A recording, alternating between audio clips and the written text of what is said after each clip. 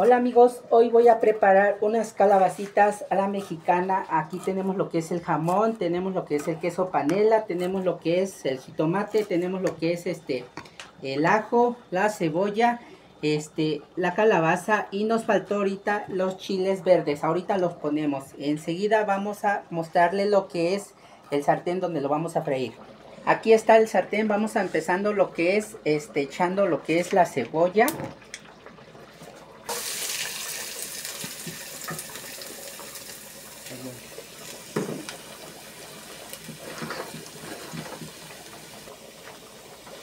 Ya que tenemos friendo lo que es este después de 3 minutos 4, como ustedes lo quieran freír, yo ya tiene como 3 minutos este. Entonces ya le voy a poner lo que es el ajo para que comience también a agarrar sabor con el ajo y se integre el sabor con el ajo al mismo tiempo con la cebolla. También le vamos a poner lo que ya es el chile, acá tenemos, este, le vamos a poner el chile, se me olvidó hace ratos amigos, este, porque también lleva cilantro, acuérdense que esto lleva cilantro, es como unos 2-3 pesos de cilantro para que ustedes ahí lo tengan pendiente y no se les olvide, lleva cilantro.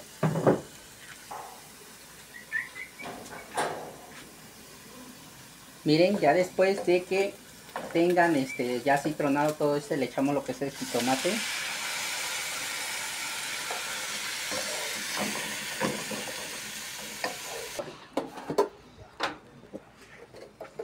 También le vamos a echar lo que es, los que le echan sal, le, echan, le pueden echar una cucharita de sal o consomé de pollo, sales, ahí a su gusto de ustedes.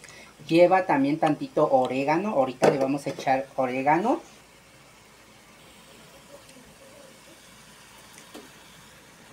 Le vamos a echar lo que es orégano, ya tiene el consomé.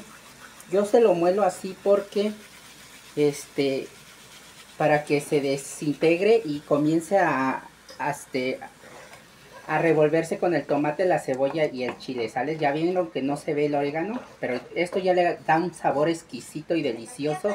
Desde ahorita ya tiene un sabor, un olor, huele riquísimo. Les recomiendo que eso lo hagan en casita cuando cocinen sus calabazas a la mexicana, ¿sales? Amigos y amigas. ¿Ya vieron cómo está quedando? Está quedando exquisito, miren, bien revueltito. Ahora vamos a echar lo que es la calabaza con mucho cuidado. Pero está quedando como no tienen idea. Háganlo en casita, van a ver que les va a quedar rico y todavía les falta el toque final. Así es que no se lo pierdan, quédense hasta el video completito. Chútense el video completo, compartan.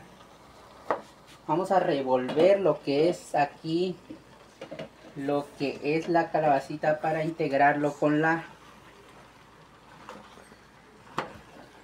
con la calabaza y con los tomates, todos los con, los ingredientes que tiene, ¿sales?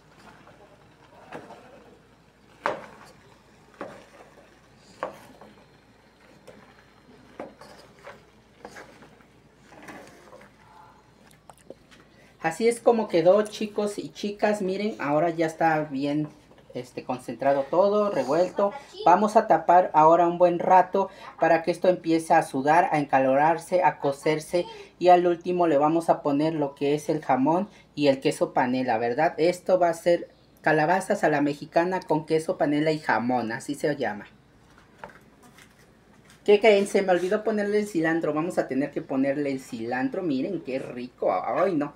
¿A quién no se le antoja esto? Ya huele exquisito. Y háganlo casita, amigos, amigas, por favor. Ahí déjenme la receta, comentarios, cómo lo van a hacer ustedes. Y se los dejo de tarea. ¿Qué creen? También le vamos a echar un poco de caldo de pollo, ¿ok? Los que no tengan caldo de pollo con un poco de agua hervida.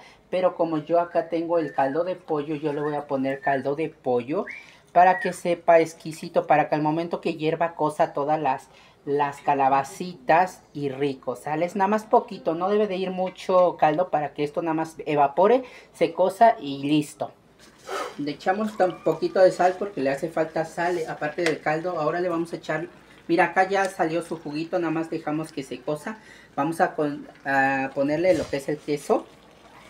Este, vamos a ponerle lo que es el quesito, miren, miren qué rico. Vamos a integrar el quesito, vamos a integrar también lo que es el jamón. Miren qué delicia. Prepárenlo ya en casita, amigos, amigas. Les va a quedar exquisito. Van a ver que se van a chupar los dedos con estos ingredientes. Revolvemos. Revolvemos y para que integre todo, miren. Miren qué deliciosa. Y así ya se está viendo exquisito. No, hombre, ya me imagino en el plato de ustedes cuando lo lleven a su paladar y lo coman. Exquisito sabor con el jamón, el queso panela y todos los ingredientes que tiene. ¿Para qué quieren más acompañados con un buen frijolitos o con un arroz, verdad? Ahí se los dejo de tarea.